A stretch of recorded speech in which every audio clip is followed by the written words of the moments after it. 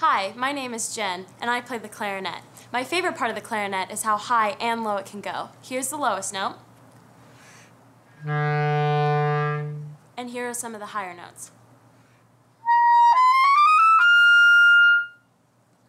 Playing the clarinet also allows you to be in many different groups, such as concert band, Dixieland band, symphony orchestra, and jazz band. So my favorite part about being in the band is just that I've made so many great friends and built so many great relationships. So whatever you do, be a part of the band.